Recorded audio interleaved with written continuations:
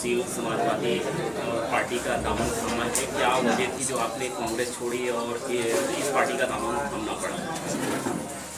राजनीतिक पार्टियाँ जितनी भी हैं उसमें जो भी लोग सक्रिय रहते हैं, उनका मकसद रहता है जनता की सेवा करना।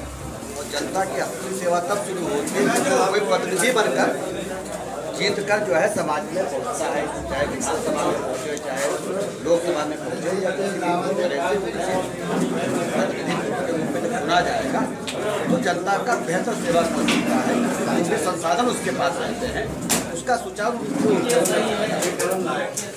और ये जो मौका था 2017 में, हमारी पूरी तैयारी इस बार सीट गठबंधन में चली थी, हमको अवसर नहीं हमने 2019 का इंतज़ार किया। एक मिनट में बैठा नहीं, मैं अपने पूरे प्रयास में लगा रहा अपने साथियों के साथ जुड़ा रहा पार्टी के साथ जुड़े तन मन धन के साथ जुड़ा रहा। मुझे ऐसा लगा, कहीं ना कहीं पे किसी के देखने में कमी हो रही है या समझने में कमी हो रही है। मैं इसलिए दोनों चीज़ों को अलग अलग कह रहा हूँ, क्योंकि कान होता है सुनने की और आँख होता है देखने की। लेकिन अगर आपको सिर्फ़ दिखाई देगा, सुनाई नहीं देगा तो आपके समझ में नहीं आएगा।